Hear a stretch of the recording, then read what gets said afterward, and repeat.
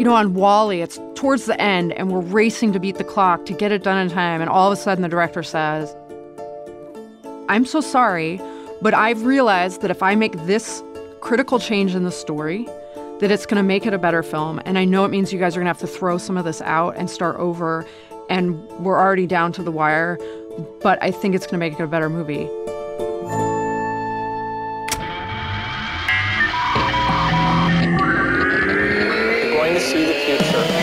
Hi, everyone. Welcome to Behind the Tech. I'm your host, Kevin Scott, Chief Technology Officer for Microsoft. In this podcast, we're going to get behind the tech. We'll talk with some of the people who've made our modern tech world possible and understand what motivated them to create what they did. So join me to maybe learn a little bit about the history of computing and get a few behind the scenes insights into what's happening today. Stick around. Today, I'm here with my colleague, Christina Warren. Christina is a senior cloud developer advocate at Microsoft. Hey, Kevin. I'm so excited about your conversation today. Yeah, today we're going to chat with Danielle Feinberg. I've been really excited to get her on the show. Yeah, I think this will be really interesting to a lot of engineers because not only does she work at one of the coolest tech companies on the planet, you know, Pixar, but they're also one of the most creative companies on the planet. So, you know, she gets to mix these two worlds where she's literally, you know, programming movies. Yeah, and she's so incredibly inspirational. In addition to being a brilliant technologist and a brilliant storyteller, she also is doing this really incredible work to inspire the next generation of computer scientists to come into the field. And she has a really great platform for doing that, in that her work is literally so visual and captivating. And she's working on some of the most iconic films and projects, things that all of us kind of look at. Yeah, absolutely. She goes and puts in all of this crazy work on these film projects. And then the thing that comes out is by and large adored by many, many, many millions of people. Well, I can't wait to hear what you two talk about. Yeah. So we will chat later. Coming up next, Danielle Feinberg. Danielle is director of photography for lighting at Pixar Studios. Her love of combining computers and art began when she was eight years old. This eventually led her to a BA in computer science from Harvard. Today, besides making films for Pixar, she mentors teenage girls, encouraging them to pursue code, math, and science. Welcome, Danielle. Thank you. I'm so so so excited. Uh, in some ways, like I think you have the best job in the world because you get to code, and it's non-trivial, very mathematical coding, and at the same time, you get to indulge your creative side. So let's talk for a second about lighting. Do you think you could do a little two or three minute explanation of what the lighting problem is? Sure. So, because the software is mimicking real life in many ways, if we don't put any lights in, it actually comes out black because it looks around the room where are the lights and what color am I going to make these pixels? And so, if we don't put lights in, it comes out black. And in some ways, it's really similar to cinema. If you go onto a movie set, you've got these lights and Absolutely. like they know where the shadows are going to fall. Yeah. And And it's mimicking all that, but ultimately we want control. And so we want to kind of harness the power of what are the physics of real world stuff, but then let me tweak that because I'm making a movie, I'm making art. Our biggest job in lighting is actually to help tell the story. Like we have a humongous impact on the mood. Now, if you can imagine, like, I don't know, your favorite film lit as if it all took place at the DMV with that horrible overhead, boring fluorescent light, that's like a really different movie than, you know, if you put Coco all in DMV lighting, like the feel of that movie is completely Yeah. different. And Coco's a really good example for a great many reasons it would just be impossible to do with classic lighting. The number Yeah. of light sources, Yeah. like when you go into Yeah. the uh, you The know, Land of the Dead. Oh my God, it's unbelievable! I still don't know how you did it. Well, that first shot has eight and a half million lights in it. And it took so much time to figure out how to do it. We had to develop new technology to, I mean, that's like Because you eight hand- more than we ever had. Yeah, you and can't hand You place can't eight hand million. place all of them, right? and so we get the sets department to build all the street lamps named a certain way. And then we write the code to go find all the street lamps. And then it puts a point at every street lamp that then is a light. But then you do this super special light that does all this essentially fancy math and special sampling. So the computer considers it one expensive light, even though you have a million street lamps. And so I can change the color of all of them at once. I can change how much the throw is all at once. But let's say you end up in one little spot where you need a couple of those street lamps. You don't want it controlled by the whole thing. We have a way to kind of like upgrade them into their own lights and on and on and on. And so there's like this massive complexity to it.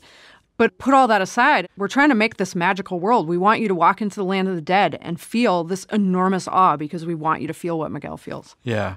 I know if I were trying to do your job, like I am such a technical nerd that I would be completely overwhelmed by all of the sort of sterile technical bits. and there must be this tension that people fight against. Here's all of this technical complexity, but there has to be a human story somewhere Yeah. in there. That must be interesting. Yeah, and I think everyone at Pixar is so nerded out about making great movies that like anything you need to do to get to that point and that you get the opportunity to contribute to that, everybody gets totally into it, you know? And so sometimes you have to wade through a lot of sort of technical stuff to get to the thing that's your contribution to the movie, but I think you know, in secret, most people love that part too. So, like, I want to go all the way back to when you were a little kid and try to understand how this started. When did you start to either develop your creative tendencies or your coding tendencies when you were little? Yeah. My parents are both super artistic. My sister's super artistic. We just grew up in this family where, you know, the after school stuff or the classes or whatever were always art classes that my parents put us in.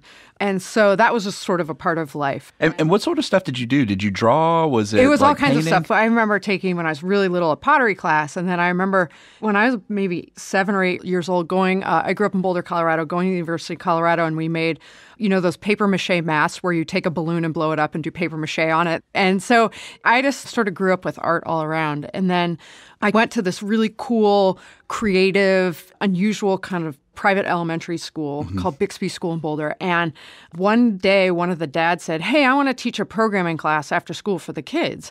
And I was eight or nine. This is like mid to early 80s, I guess. Yep. And so it was like, we had three of the first Apple computers. Oh, that's awesome. And it was like, well, I don't know what programming is, but I love these computer things. And so it turned out to be in the language logo. And so it just happened that my very first programming experience was writing code that made this little icon of a turtle drive around the screen and everywhere it went it left a line and so my first coding experience made pictures and coming from this art background but also really deeply already loving math and science it was like this magical combo of the two that i had no idea at the time what it meant i just was like this is really cool i like programming I remember I had similar experiences. Like the thing that enticed me to want to understand programming more. Part of it was just it's the mystery, right? And like the more mysterious the thing, the more I wanted to understand how it worked. But the real hook for me were video games. When I grew up, the console video games had just Mm-hmm. Yep. started coming out, and I'm like, oh my god, these are the most amazing things ever. Yeah. And there were video games on the Apple IIe, and I'm like, I got to figure out how to make these games. or the games where the the kids would probably cringe at now, but it was all text, but Yep. you were writing things and investigating a world and you had to figure out where the key was and the thing that the you know, and there was no pictures, it was all text, but it was this whole world and it all Yeah. exists inside the computer. and you were in charge of it. I just Yeah. felt so empowered. It was this amazing thing. Yeah. So where did you go from there? You're eight years old. You're learning logo. Yeah. What's next? the school then brought in happened to be a woman from the University of Colorado who was studying programming, and she taught us the language BASIC.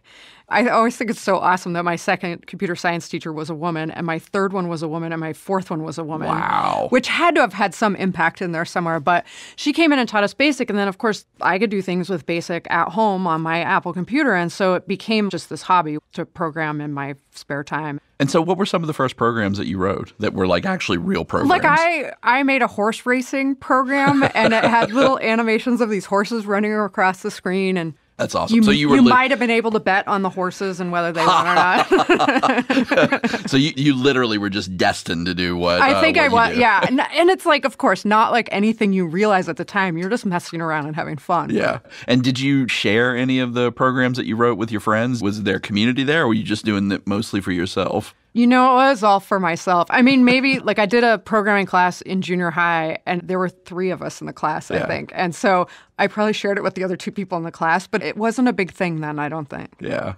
Super interesting. And eventually, I read somewhere in some of your bio materials that you learned Pascal. Mm-hmm. uh, so, was this Turbo Pascal or was it MPW Pascal? MPW Pascal. Gotcha. And in high school, I was dying to learn something with more depth to it than basic. Yep. Because, you know, that was a limited language that I loved, but I was like, I want to be a real programmer. I got to Yep. learn. And it turned out like, okay, Pascal seemed to be the most accessible thing. Yeah. And then I signed up for the Pascal class. And the first class, I look around and I'm like, this is sort of a weird collection of people for a programming class. And the teacher comes in and she takes roll and she shows us how to turn the computers on. She says, I'm going to get coffee. And she never came back. and it turned out it was like the classroom for derelicts where everybody sat there and played video games and the teacher went left and never came back. and so my friend and I were so bored after the first week that we broke into the cabinets to get the textbooks to teach ourselves. And so in the room full of derelicts, the little honor students were actually the people that were breaking and entering on school property. Outstanding. Outstanding. And were you able to teach yourself? We did a little bit, but I really learned freshman year in college when Yeah. Pascal was the language that they taught us first semester freshman year. And so you basically just had this positive reinforcement the whole time. You show up at Harvard and you know that you wanted to major in computer science. I thought I wanted to do mechanical engineering because in my head that was equivalent to inventing things, but it satisfied the math and science and the creation thing. But I kind of looked at the classes and I went, oh, these don't look that great anymore. But I can take these computer science classes because they count towards engineering and that'll buy me some time while I figure out what I actually want to do.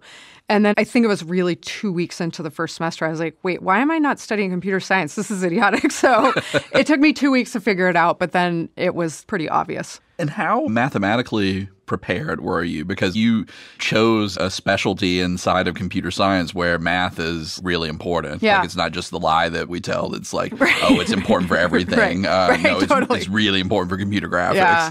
You know, I loved math, and I would say I was always in honors math, and I was on the math team in junior high. but I went to public junior high and high school, and at my high school, at least then, you couldn't take calculus unless you were honors and a year ahead. And so I was ah. honors, but not a year ahead. And so I never got to take calculus. And so I got to Harvard and like everybody had taken calculus. And so you do the testing, you know, when you first Yep. get there to see what you test into. And I test into calculus, seemingly obviously, right? Right. But I realized pretty quickly that everyone else in there had already taken calculus. They just hadn't tested out of it. And so I was at a massive deficit going into it because I was trying to learn stuff that people had already spent a year learning. And that's one of the hard things like I found when I was teaching computer science is I taught CS201 at the University of Virginia or a TA a section of it. And I had this huge diversity in my class. I had some kids who had no business being there because everything was just trivially easy for them. Like we should have just tested them out and sent them on to something that was more challenging. And then we had kids who had no programming experience whatsoever and no talent for it. And it was just sort of awful. It's just hard teaching a class like that. And it's really hard being a student. How did you figure out that it was sort of okay that you were where you were and that, you know, the people who were doing better than you, it was just because they got a chance to take the materials in high school? You know, I don't know that I did ever figure that out really until long afterwards. It was that thing of like, you sit in there and it's full on imposter syndrome because you're already sitting at Yeah. Harvard. And I already felt like, wow, somebody made a giant mistake and let me in here and they're going to figure it out at some point. And so while experiencing all that, I also just bared down and was like, I'm doing this. You know, I'm pretty dogged about that kind of thing when it's like, this is what I want to do. I'm not giving up. And I may torture myself with all these feelings of not deserving to be there or whatever it is, but like, I'm not stopping. And so Yeah. I put in a huge amount of effort. Every week I'm going to the office hours to get almost an extra hour or two hours of class and talking to the teachers. And unfortunately, those sort of entry level math classes are taught by graduate students who that's not their gig. They're not Yeah. there to teach. And so they don't actually really care that much. So it was those first two semesters that were the hardest because it was hard to get to someone who cared about teaching you as much. Yep. And then the third semester, I got the woman who was the head of the math department, and that lady was awesome. And I would go to office hours, and she would totally dig into it with And me. what class was that you were taking? That was linear algebra, Oh, which oh, murder. Yeah. And also, probably the most important thing. for computer graphics, it's like critical. So it was pretty awesome. Oh, that's great. So, when did you decide that computer graphics was the thing? Well, you know, it's that same thing of like, I'm looking at these engineering classes, I don't know, looking at the computer class, and I go, oh, look at that computer graphics class. That sounds awesome. I want to take that. How soon can I take that? Oh, it's got this prerequisite here. Okay. So then, and then I, oh, I can't take it till junior year. And so I'm such a nerd. Sophomore year, I emailed the professor and I was like, hey, I'm so excited to take your class. Is there anything I could do to get ahead? Is there anything I could just play with now? And I got the most confused email back from him. You know, I don't think most Harvard students are like emailing professors for future classes and asking how they can do work for it. He was like, I guess you could go buy the textbook, but it must have made an impression. We're still friends to this day. And he clearly knew my enthusiasm going into the class. And so I go in, and it was really a class about programming, all the underpinnings of the programming to get to the 3D world. Yep. But there was a day where he turned off the lights and he started playing these films and it was the Pixar short films from the late 80s and early 90s and this is I think 94 and I still completely clearly etched in my mind just watched those with my mouth hanging open was like that is what I have to do with my life. Because it was all this math science and code I've been learning but it created worlds and stories and characters in this way that to me was just the most perfect combination of everything that I loved. Yeah, that's so amazing. Those films made an impact on me as well. And for a while, I thought I was going to be a computer graphics person, but Really? yeah, I just decided I wasn't creative enough to do it.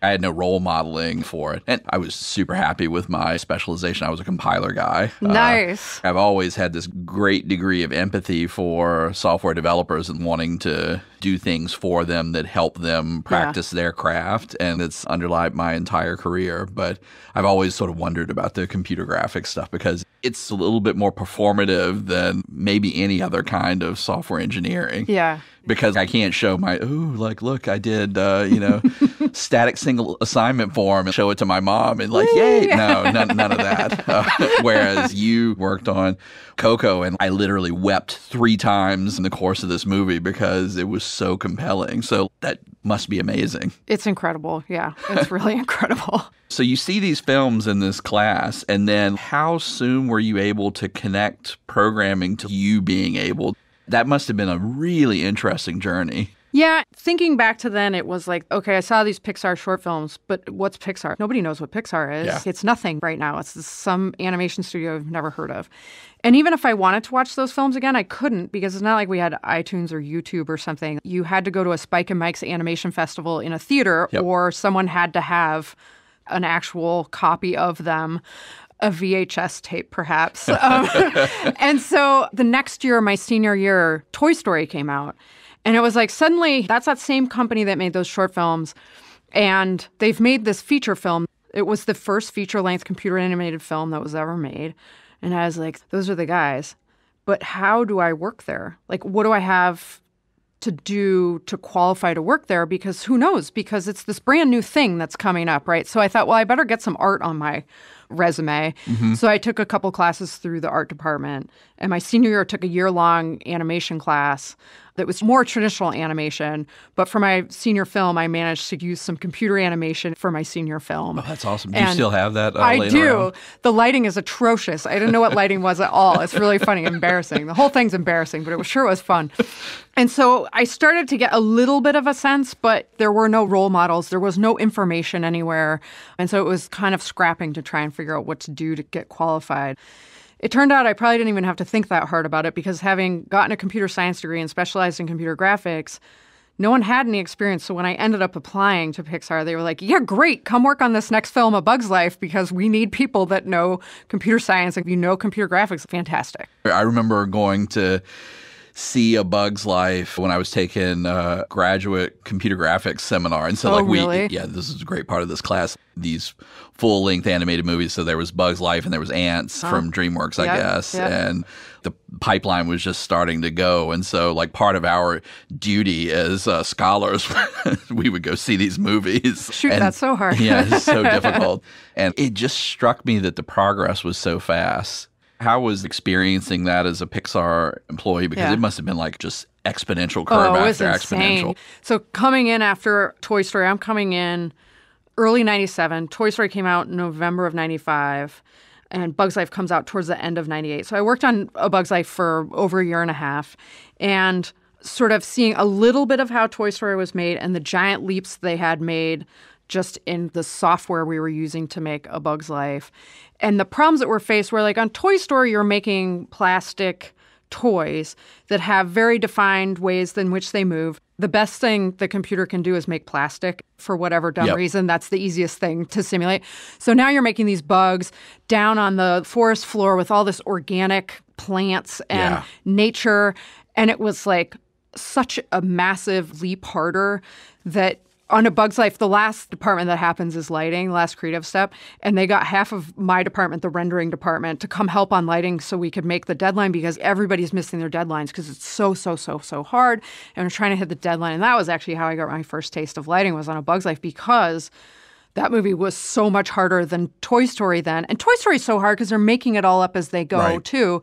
You know, I get asked, what was the hardest film you've ever worked on? I'm like, they all are. When you're working on those films, every single one feels like it's the hardest one you've ever done. Yep. We aren't biting off quite as gigantic leaps of change and breaking barriers in terms of like what hair we can't do hair. Now we can do hair. What curly hair we can't do curly hair. Okay, now it, it's not quite as huge of barriers, but each one still feels like it's the hardest thing you've ever worked on. Yeah. And I remember seeing A Bug's Life. One of the incredible things was just how many more polygons were in that movie Yeah. than Toy Story. Yeah. Do you remember count wise what the increase in complexity was? It I don't like know. a- So a while ago, someone said, "Oh, if we tried to render the original Toy Story now on our machines, it would take like five minutes or something insane." You know, like. But I mean, it was, and especially if you look at those couple early films, like if you went from Toy Story to Finding Nemo, the sort of visual jumps that each one was taking was pretty oh, phenomenal. yeah, staggering. And part of that is the software, and part of that is Sharon Calahan, who I learned lighting from, who's probably one of the best computer lighters in the entire world. And she's saying, Hey, can you do this to the software now? Can you add this to the software now? Can you add this? And so part of it is people with experience and technology and the two of those things coming together so your art tool set is getting better and better. I can sort of understand how you went from eight years old through your senior year at Harvard and you just sort of learned all of the mechanical bits about how you write computer programs and even the mathematical bits of how you do like 3D modeling and you know the cool lighting stuff. How did you learn how to tell stories? that's really from being at Pixar and just being around some of the best storytellers in the world and understanding that a massive part of it is iteration and people understanding what makes great stories and also the amount of feedback people get at Pixar. There's directors that have made these blockbusters, but they still are talking to the creative brain trust there, showing them their movie, taking their comments. You know, art is such a hard thing where when you get into it, you can't always see what's happening. You get really kind of myopic about it. And to have these people that you trust be able to give you this feedback on it so that you can pull back out again and you can solve those problems and understand so that the movie plays for all kinds of people, maybe not just you. Yep. And you watch all of that happen over and over again. And like, you know, on WALL-E, it's towards the end and we're racing to beat the clock to get it done in time. And all of a sudden the director says, I'm so sorry, but I've realized that if I make this critical change in the story, that it's going to make it a better film. And I know it means you guys are going to have to throw some of this out and start over. And we're already down to the wire, but I think it's going to make it a better movie. And everyone sort of goes, okay. Yeah. You know, and there's no complaining after that. I mean, our spouses and stuff might complain Yeah. a little bit because we're gone on Saturdays, but people are so dedicated to it that you just go after it Yeah. in that way. And is that something that Pixar had from the beginning? Like I know I've read the famous story about the restart on Toy Story 2 where John Lasseter wasn't as involved Yeah. and then came in and realized that there was no way to sort of bridge the gap from where the movie was to like where it needed Yeah. to be and then just Yeah. basically a big restart. Yeah. Was that one of those pivotal moments in the company or did you guys always have that? it's so easy to look back and be like, oh, we've always done this. But the truth is, it felt like there's these guys who are really brilliant, some of the very core Pixar folks, and some of them went to Cal Arts together and stuff, but they were like buddies that, and they trusted each other artistically. And so they're banding together at this tiny little company that no one knows who it is. It has no money. Yep. You know, you're making a movie, you don't know what you're doing because no one else has done it before. You're making everything up. And so you're just figuring it out as you go with some people that you trust. And it works. And so then you go, whoa, okay, what part of that worked? And you go make the next one. And as you go, you find the things that work and that becomes your process. But it's not like anyone from the beginning is like, whoa, this is the process and this is how we should do it and it's always going to work. And so, you know, and with the Toy Story 2 one, I think in a way that sealed our dedication to creating the very best stories that we could no matter what because what was happening is that movie was originally supposed to go direct to video which was a thing disney was doing a lot and we all felt sort of like well that in itself made it seem like it was this second rate story that we don't have to put as much effort into or something. And that already, even at that point, felt really weird. We already knew that wasn't what the root of that company. And so I think everybody was actually quite relieved when it was we're not doing this direct to video thing. This is going to be a theatrical release and we're going to drop everything to make it the best thing possible. Actually, I think we made that movie in 9 months is my recollection. That's one of my happiest golden moments of memories from then because the whole company was sitting there all day all night making that movie Yep. together and and bonding that way. Yeah, so in a way, the mistake there was doing an unnatural thing. Yeah. Yeah, Um, yeah, exactly. Yeah, no, that's interesting. And I've always appreciated the consistent quality of the art and the storytelling. I've got an eight year old and a 10 year old, and when they were much younger, Disney was pushing out the computer animated films like Tinkerbell. Eh, So I've seen all of these dozens of times each, and they were so good. And you could just see the John Lasseter touch on all of them. It's like, even though they were direct to video, they were just great. My kids would watch them over and over and over again. Like, they were so good that my wife and I would watch them over and over and over again That's with awesome. them. Yeah. And we would eagerly await the next one coming out. That's amazing discipline for your product so that Yeah. you're putting that into this thing that, you know, you probably could have gotten by with less if Yeah. you wanted. Well, you have to trust on some level that that's going to pay off in the end because I think that's a huge leap of faith most of the time in the world, right? No, if you actually spend this money to make this better, you will not only recoup that money but get more of it. It takes a very specific kind of faith in things to follow through on that. So, how do you get people to be vulnerable enough to put themselves out there creatively in this process where you need lots of feedback and lots mm-hmm. of criticism in order Yeah. to get to the best thing? I think it's really hard. I mean, I think you know coming in that that's what's going to happen. I don't know that it's easy for anyone. I mean, that's particularly difficult. We've had people where it didn't work out for them to be directors at Pixar. Being a director there, it is no joke. People are like, oh, you want to direct a film, right? And I'm like, oh, geez, I don't know that. like, we're a director driven studio. You're in charge of the story, but you're in charge of everything else. Like, nothing goes into those movies without someone presenting it to you and saying, do you like this? Is this what you imagine? And so, you have to be a story expert and you also have to have an opinion on everything or understand how to trust your lieutenants and stuff. It's pretty challenging. And it must impact everybody though, because you want everybody, whether they're a lighting engineer or a storyboard artist or a director, to take creative risk. Yeah, definitely. And, and it's sort of the same thing that you want in any high performing company, actually. You want employees to come in and give their best idea to, Yeah. you know, sort of Yeah. push the boundaries on things. And when you do that, sometimes, you know, you fail. yeah. And One thing is that because it's coming from an art background where people are particularly used to, like if you go to art school, you get an art critique every time. In my brain, it's almost like hitting in baseball. If you're amazing, you only succeed one out of three times, anyways. And so I think some part of it is people come in with that understanding that this is art and you can't always control what's going on. And so you need help from people. And you definitely have to be vulnerable, but you also understand the stakes involved. And also, that is another part of the culture at Pixar is people want to take risks. So a movie like WALL-E with the robot who doesn't talk or Ratatouille with rats that cook, you know, those are not normal or low risk ideas for movies generally. But people are at Pixar because that's the kind of stuff they want to make. They don't want to make boring schlocky films. Like they're into like the excitement of it and the doing cutting edge things. Yeah. How do you onboard new people into your team? Like what's what are the big challenges? A lot of the challenge is really the technology because we have this sort of Frankenstein pipeline where we've built this beast of a pipeline that is a beast so that you can plug in different pieces of software. And so part of it is our own proprietary software. And, it part evolves of it pretty quickly, right? Probably from film to film. They're like Oh yeah, day to day sometimes, Yeah. which is awesome because then when you need something, you can get something. You know, you're not trying to talk to some other company and convince them they need to do this thing for you. But we can also plug in third party software as well. And so part of the onboarding is really people getting up to speed on that process. At least in lighting, we've made that a lot easier where our tools have gotten sort of streamlined and easier and a little clearer. Plus, now we're using a software package that's used in other. It's a public package called Katana, and so mm-hmm. more people come in with at least a little bit of experience with it. Where before it was our own software, it was our own lights, it was everything was ours, and so you had to come in and try and untangle the mess of what was going on there. Yeah. And sort of culture wise, how do you get people acculturated? Because everywhere I've worked, there's been this sort of Franken pipeline yeah. of, of stuff, right? Like I don't know why I always choose to work for companies who have a lot of, you know, not invented here.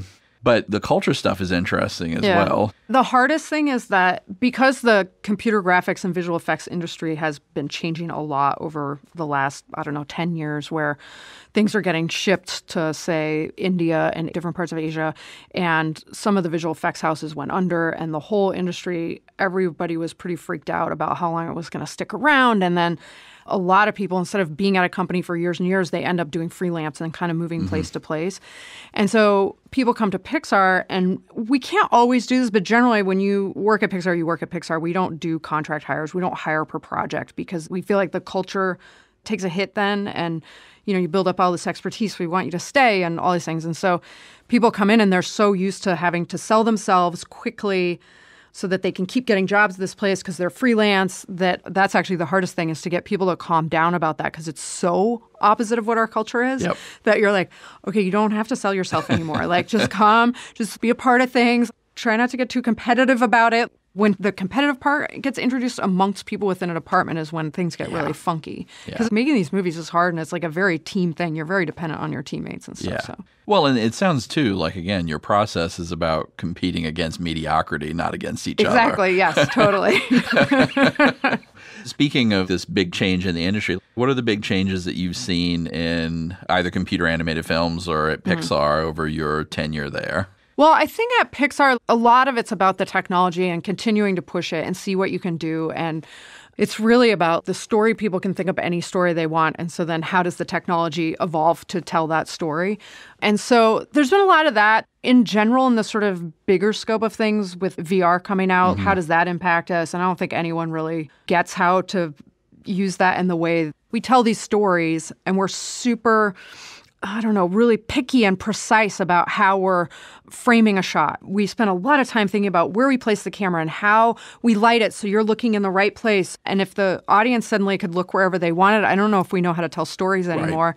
And so someone will crack the code. I mean, there's already been a bunch of VR stuff, but someone will get that. I don't know that it's going to be us, but obviously there's stuff changing all around. You look at video games, they're doing some of that yeah. sort of storytelling in that way. The visuals of storytelling are getting much closer to the visuals of computer animation. There's all these things that are starting to cross yeah. over, and live action movies are using way more computer graphics. But that's an interesting thing. I mean, I remember being a little kid, I never enjoyed the choose your own adventure books as much as I enjoyed something where the author had a perspective. Carefully orchestrated and set up so that the things were revealed at this pace and when they wanted them yeah. to be. And yeah. It's a thing, storytelling. Yeah. You know, some yeah. people are good at it. And also, I'm guessing practice makes perfect. So after you've done it for 20 years, you're going to inherently be better than you know, uh, someone yeah. who's just trying to extemporaneously like create an experience right, for themselves. Right, right, totally. Yeah, I think that's one of the big challenges in general with VR. The technology is actually really at an incredible point right now. There are a bunch of really compelling industrial applications, but the consumer applications right now are we've got some thoughts about what it could look like, but uh-huh. that's the hard problem, I yeah. think. The thing that's most exciting about VR to me is what you could do in education. Yeah. And like how excited you could get kids immediately and engaged and feed them all the things they need to be learning, but in a way where they were totally engaged. That to me is the thing where I can't wait to see more of that stuff coming out. So, Danielle, I know one of the things that you are really passionate about is mentoring and helping the younger generation of computer scientists get into the field and to prosper. So tell us a little bit more about that. 15 years ago, I spoke at this girls' math and science camp, and I talked to them about how we made the films at Pixar and all the math, science, and code behind it. And it was amazing to see their eyes light up when I told them about it. It was kind of like when I was sitting in that college class. And so it's turned into my passion thing as I spend almost all of my free time running around giving talks, talking about the STEM behind our movies and trying to get kids excited about that stuff. Yeah, and I think that's how I first became aware of you as I was watching one of these documentary films and you were I'm like, "Oh, who is this enthusiastic person?" and then, you know, like we met at Grace Hopper where like you set for a portrait session for Behind the Tech and yeah, I've been an enormous fan ever since. You are quite a role model to many young computer scientists. And do you have particular things that you're actively pushing on in education other than VR that you think would be super beneficial? Because, you know, in a sense, you almost got an ideal path through our educational Yeah. system. Yeah. And like, my God, what if we could give that to every child who had interest and potential? That'd be amazing. Yeah. Well, I do have an agenda. I want them to see how exciting computer science is and how exciting math and science are so that, you know, when I was in my classes in college, I was one of a couple girls studying in these huge lecture halls. And, you know, sort of knowing how lonely that is and how much of a detriment that is to just learning something that you're interested in learning. You have to get over this hump of every time you walk in the room, there aren't people that look like you. So everything around you is telling you don't belong there. And when you have any kind of struggles, you start going, maybe I don't belong here, you know? And so finding a way to get girls and underrepresented minorities and stuff excited about math, science, code, so that when they hit those, they go, I don't care. This is too cool. I'm going to keep on going. That's really my agenda is so that we get more and more diversity in the classroom so that just because you want to study computer science, you don't have to go through this whole other extra thing just to learn the thing you want to learn.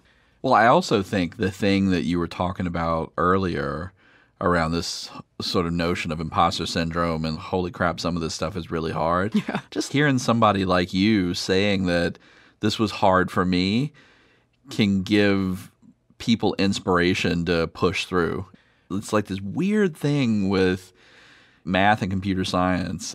There are all of these apocryphal stories about these great geniuses people who've gone on to like accomplish these incredibly you know difficult intellectual feats and you know many of them when they write their biographies will sort of describe these moments where oh my god like i almost gave up here because it was too hard or nobody gave me permission to struggle Yeah. you know i thought that the struggle was a sign that i was Not good at it. not good at Yeah. it and I didn't belong because all of these other folks look like it's so easy.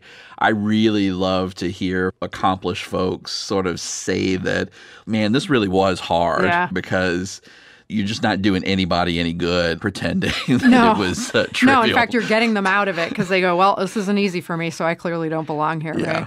The woman who was my mentor at Pixar, Sharon, one day, long, long ago, she emailed me a quote, and it was something along the lines of, confidence is a gift for the creatively less talented or something like that. and I was like, oh, this is amazing. This is like validating all the days where I feel like I don't know what I'm doing. So, what are you most excited about on the horizon, either technologically or inside of computer science? Yeah. If I'm going to answer that completely honestly, it really is the VR stuff for education, just because. Did you see the Mars bus thing where the mm-hmm. students get on the bus and all of a sudden they're ah, transported to Mars and they're so sitting next to each other and pointing out things and yelling and screaming? And I was like, oh, that is. And they're just driving around. It was like DC or something. Yep. And it's just, it's a bus, it's outfitted, and they're suddenly transported to Mars. And I was like, when you can do that kind of stuff, man, that's life transforming. Yeah, that's awesome. So, any advice that you would give to folks who are trying to enter the field, either to become programmers or maybe they want to do something like you did that's more creative? Yeah. You know, it's funny. I talk to students now and they come up and they said, Well, I thought I had to choose between art and STEM. And now I see that maybe I don't have to do that. And so that is always really exciting to me because my happiest place is, the combination of those two things. And now it isn't just making animated films is the only place you can do that. There's just billions of ways you can combine those things. And that's one of the exciting things I think about computer science, period, is that you asking kids now to specialize more and more and you have to decide what you want to do. I was talking to these girls and this 13 year old girl says, I'm going to be a lawyer. And I was like, why are you deciding that at 13? That's insane. And the thing that I'm always saying from my love of computer sciences, this actually opens up the entire world to you. This is the base for any job in the world now. There Yeah. is an element of computer science. And so instead of shutting things down, you're actually opening things up in this really marvelous way. Yeah. So I don't even remember what the original question was, but but that's a good answer. And I will put an exclamation point behind that. So, like, parents and kids who may be listening to this should really understand that we are rapidly becoming a world where every business needs technology. It's not just that the technology industry is the place where technology is being created. So, we did a thing with LinkedIn data a few months back where we showed that the rate of hiring of software engineers is growing more quickly outside of the technology industry than it is within. Really? You have all sorts of things like major automotive companies hiring more software engineers than mechanical engineers. And so the opportunity that's going to be there for these kids in the future is Yeah. absolutely incredible. yeah. I don't know about you, but the thing that is remarkable to me when I sit down at the keyboard and try to write anything these days is how rapidly our tools are becoming more powerful. So, like, what you can accomplish with a given amount of effort is mm-hmm. becoming more and more and more every day. Absolutely. It's just this thing that you can do, whether you have a creative bent or like you're very analytic or whatever. If you master these skills, you don't necessarily have to be a computer scientist, Yeah. but it's going to be this tool that you can use. you can to, use all over the place. Like when people are saying, well, you have to know how to write, you have to know how to do math. And this is on par with how important those things are, if not more. Yes. And again, exclamation mark. Yeah. You know, given the work that I do, it almost seems nonsensical to have to emphasize that, but you still sort of have to. It hasn't sunk in yet. talking about advice for kids that want to get out there and do this stuff is that as schools struggle to keep up with developing their computer science curriculum, finding teachers who know computer science who aren't like, see, I'm going to go to the industry, you know, different things like that, that sort of remembering if you're one of those kids that there's now all kinds of stuff online Yep. where you can teach yourself. And also, you might have a teacher, but it doesn't make every teacher a good teacher. And so you might go take a class and it doesn't make any sense to you. And that isn't necessarily because you aren't any good at it. It might be there's a teacher struggling to figure out how to teach it to you, you know? And so if the class doesn't go well, go find an online thing and work at it a little bit. Because we've all had the bad math teacher or the bad English teacher or whatever that made you feel really crummy at it. And it turned out it was just like you needed a different person. Yeah, and if you can invest in a foundation early of sort of practicing learning, of course you want to learn something that's valuable, but just sort of the practice of quickly getting information in your head and mm-hmm. figuring out how to retain it is like such a valuable tool, especially when you have all of these online assets.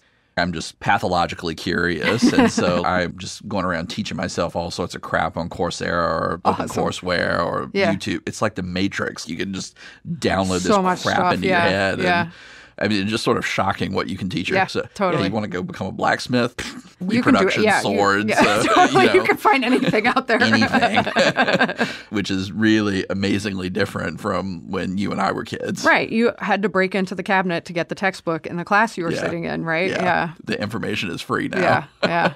So thank you so much for coming. This was amazing. And I really appreciate the opportunity to chat to you about all the amazing stuff that's happened in your career. Thank you, Kevin. This is such a joy. I always love our conversation because it feels like we're two peas in a pod. So it's super fun. Awesome. Thank you so much.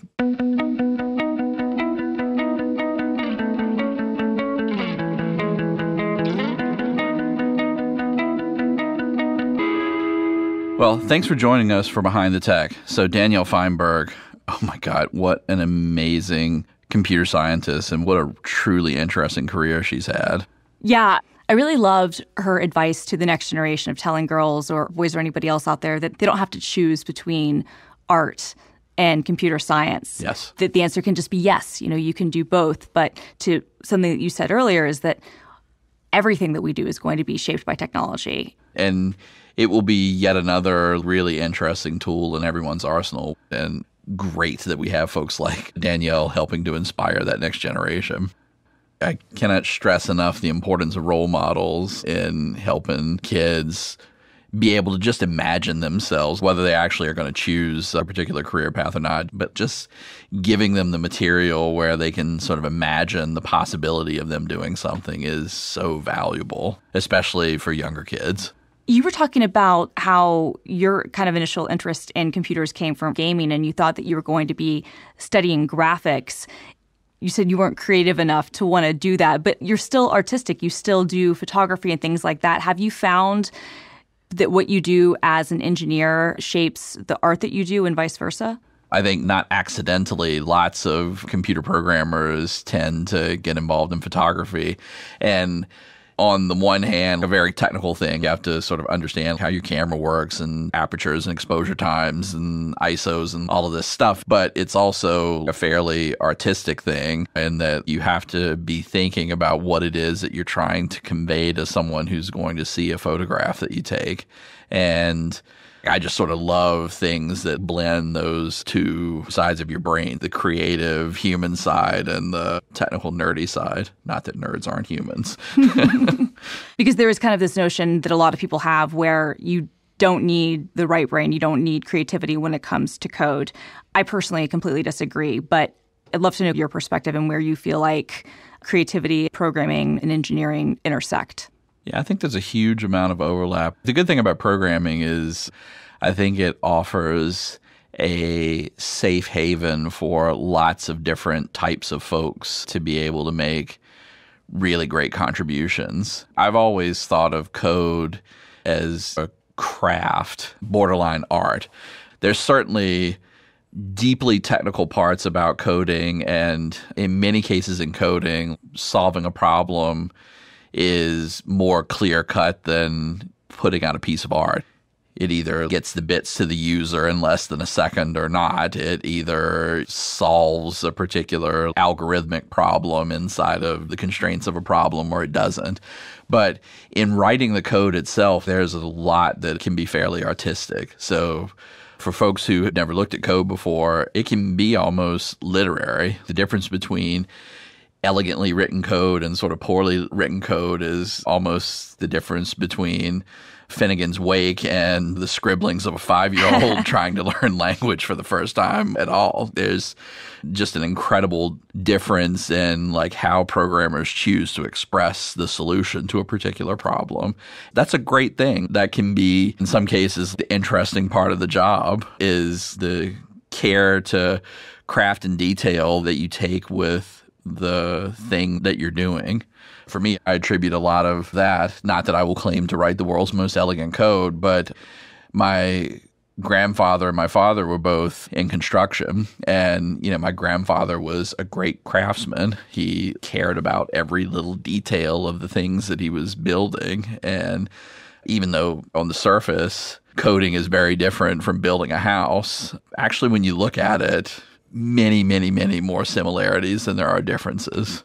Definitely, because things need to be done a certain way to work together, but you can also have a lot of freedom to build that house however you want. Yep. And you were talking about some of the constraints that are in code before that something's going to work or it's not. I think that kind of opens up artistic possibilities too when you're forced into sometimes yep. even certain constraints that can force people to become more creative and more artistic in yeah. what what they decide to build.